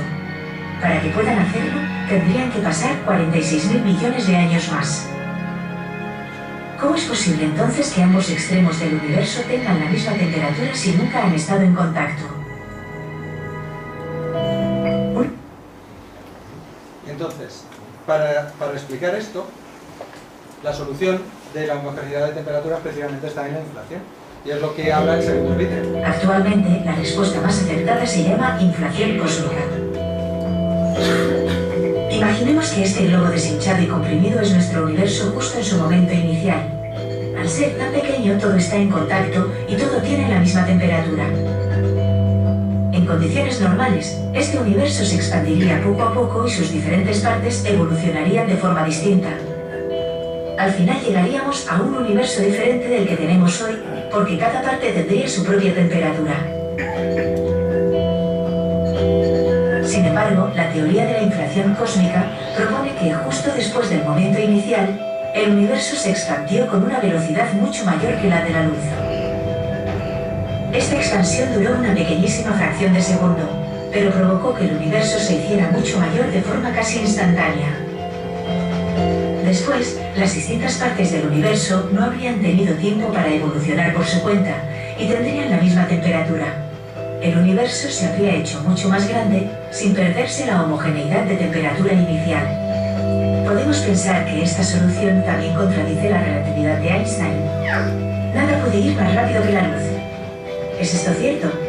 Concretamente, la teoría de Einstein dice que nada que viaje a través del espacio puede ir más rápido que la luz. En nuestro globo el espacio es su superficie. Por lo tanto, ningún objeto que se mueva en ella puede superar este límite. Sin embargo, en la inflación, lo que se expande más rápido que la luz es el propio espacio, el propio globo. Así, ninguno de los objetos del universo tiene una velocidad superlumínica. Esta expansión del espacio por encima de la velocidad de la luz sí que es compatible con la relatividad de Einstein. Bueno, he querido poner los vídeos en parte para hacer más ameno esto, alguno a lo mejor se ha despertado en este momento y tal. Pero también porque, bueno, creo que lo explica razonablemente bien. Eh, luego, en el turno de preguntas, si alguien quiere preguntarme sobre eso. Es una de las cosas de, en las que trabajó Hawking bastante. Eh, de hecho, eh, bueno, ¿qué, qué es, el- es, la inflación? Pues en una etapa muy primitiva, el universo, pues eso, se expandió mucho más rápido que la luz. ¿Qué le pasó a la radiación y a la materia durante la inflación? Eso es el nudo de lo que estudió Hawking.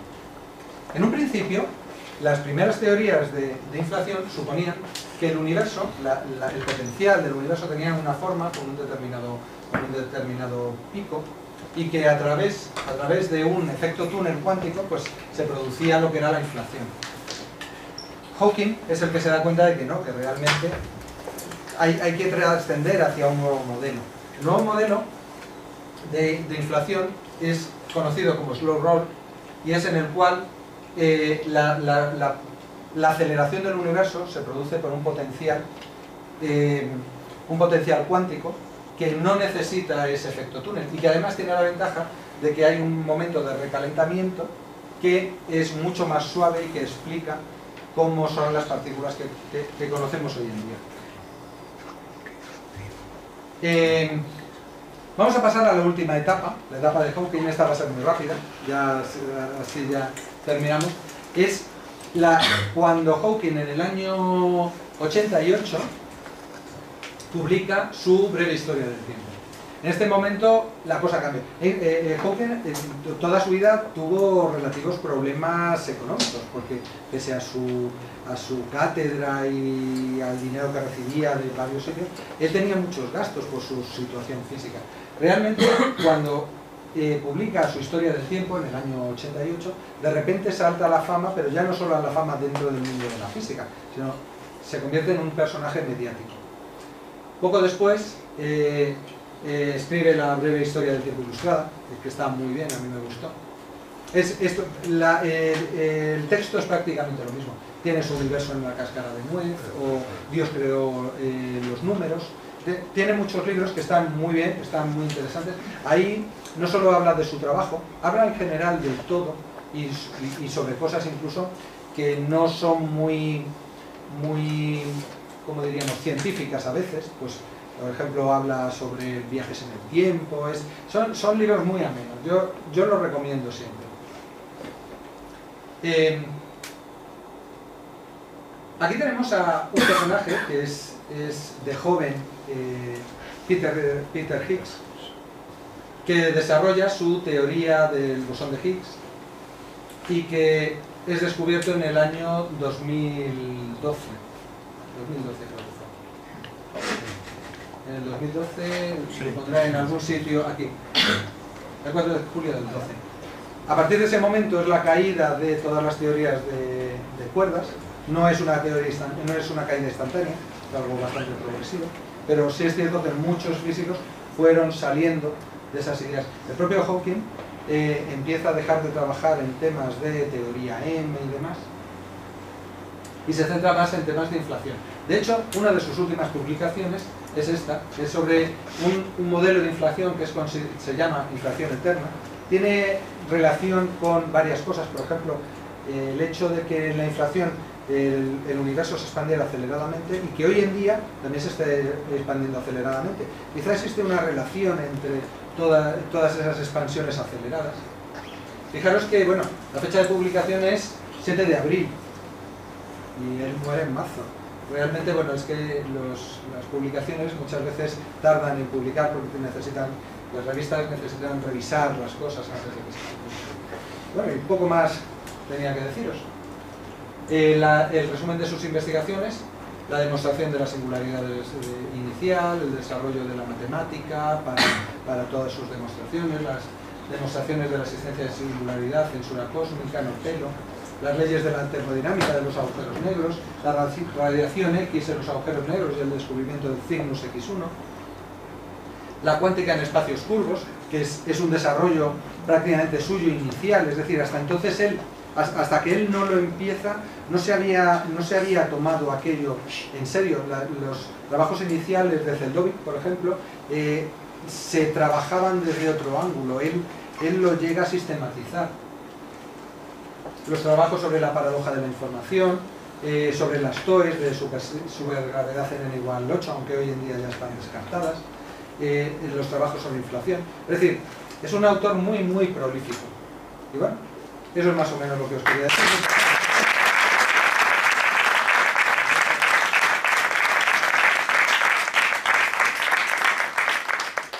¿Alguna pregunta?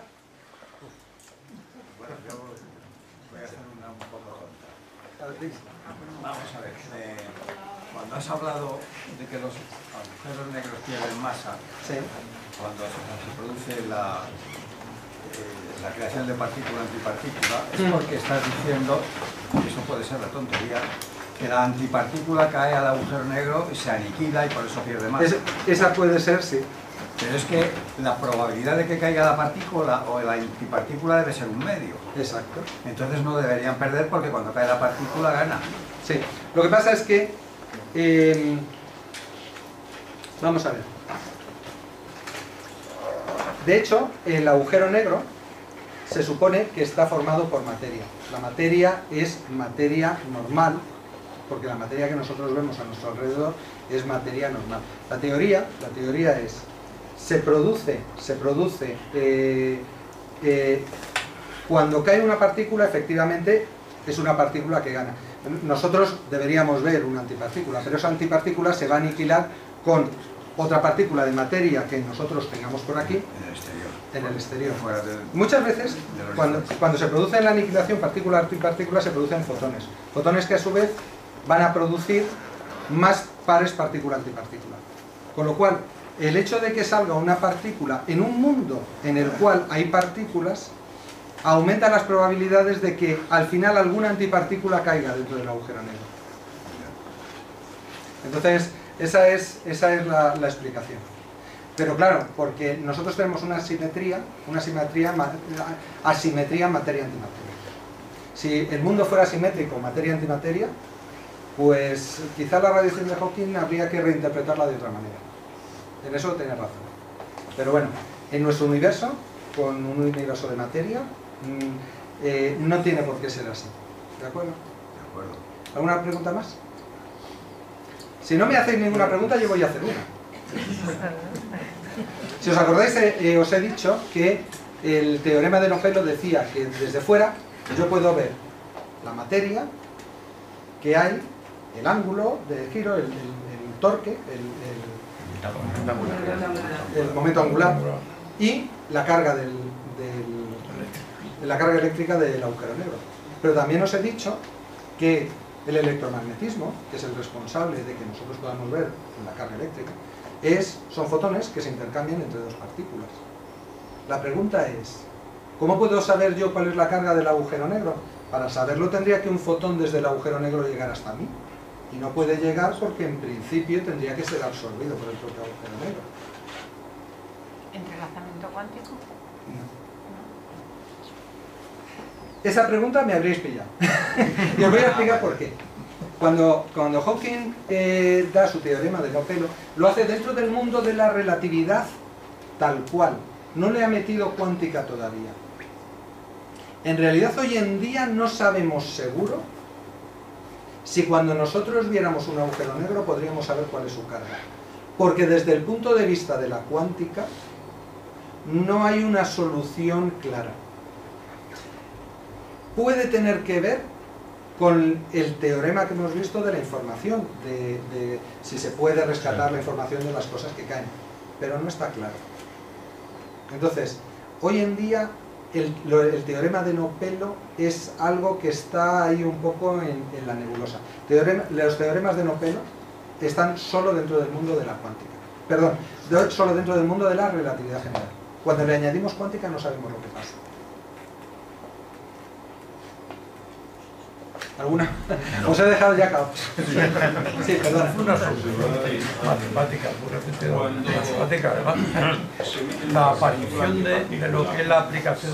y una entra de agujero negro, Sí, la información de esa partícula de alguna manera la tiene la que nos llega a nosotros. eh, vamos a ver.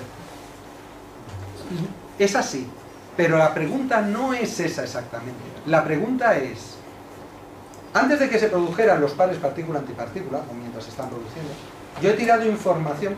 el ejemplo que ponía eh, Penrose sobre este tema era el siguiente. Si yo cojo la enciclopedia británica y la tiro al agujero negro, con el tiempo la radiación de Hawking me dará la información que había en la enciclopedia británica? Esa era la pregunta. Es decir, no es en sí la información de la propia par partícula-antipartícula, sino la información que habría dentro del agujero negro, porque hay información, ya que hay entropía. Y si hay entropía, pues eh, la entropía es una medida, sabes lo que he dicho antes, la, la entropía es la medida del desorden, pero orden y desorden en realidad son dos eufemismos de lo que es información. Entonces, ¿se pierde la información o no? Esa era la pregunta. Y la respuesta es, con la radiación de Hawking, en el momento de romperse el entrelazamiento cuántico, se crea ese firewall, ese eh, cortafuegos de información en todo lo que es el horizonte de sucesos. Y ahí es donde radica la información. Esa, esa es la teoría. Y, y ya te digo que, que tuvieron sí, En el horizonte exclusivamente. en el horizonte de sucesos, en ese, en ese lugar. O sea que depende del área. Depende del área. Depende del área. Y depende además de forma lineal.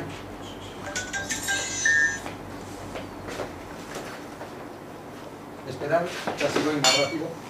Así. incluso saliendo.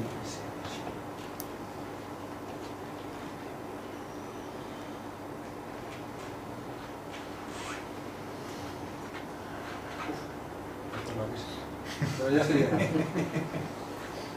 Vamos a irnos incluso más atrás.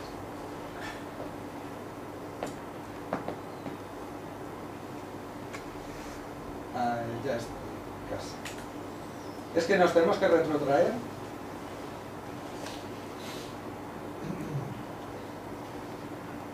Esta es una de las primeras cosas que rompí.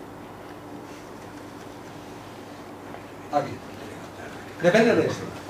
Esto es, esto es la superficie, el, el área del horizonte de sucesos. Estos son áreas de el tamaño del área de Planck. Y cada unidad de entropía, o lo que es lo mismo, cada unidad de información, está formado por cuatro áreas de Planck. Eso es porque tenías un 4 en el denominador. Exacto. Es por este cuadro. En realidad es eso. Esto es la, cantidad de estados, el logaritmo neperiano de los estados. La razón de que sea la información tiene que ver con este logaritmo neperiano. Estos son la cantidad de estados. La información que yo puedo obtener con una serie de estados es el logaritmo neperiano de los estados.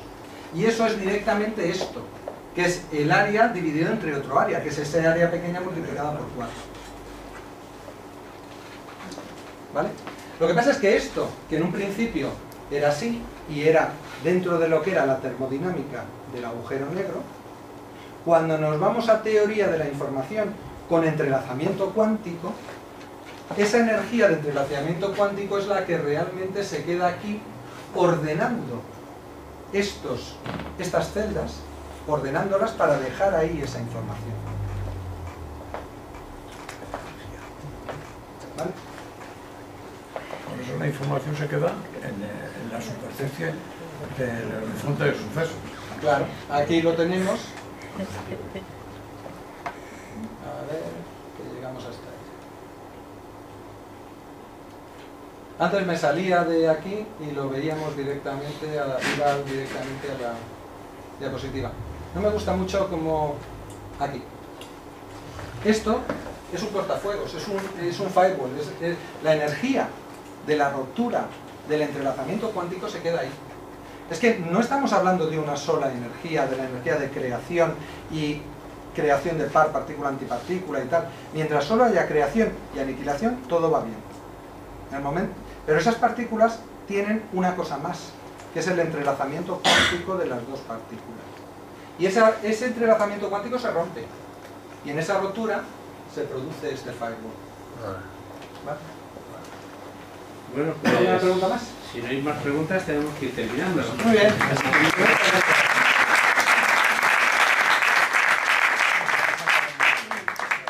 Esperad un momento, por favor, es todo lo que podáis. Es que hay un cambio de programa la semana que viene, ¿vale? Y va a venir eh, Tomás Ortín, que es un investigador del Consejo Superior de Investigaciones Científicas, y con él ya cerramos el mes. Luego mm, le he pedido que abrevie un poco, pero no sé si podrá.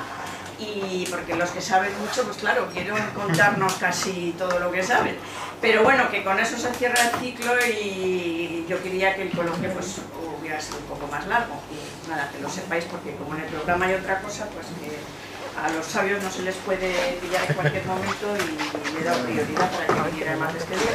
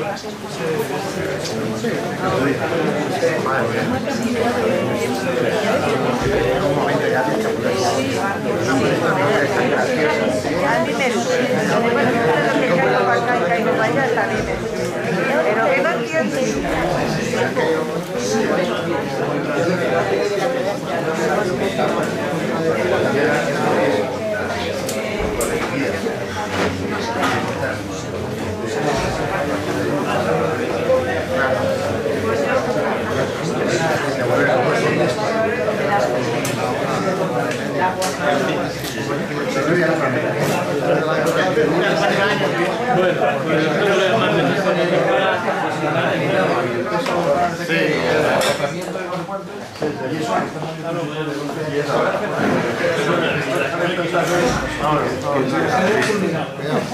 bueno. ¿Te ayudo? Ah, sí, debe ser muy palidado, Lo que habéis oído está muy avanzado, pero nosotros seguimos en la prehistoria.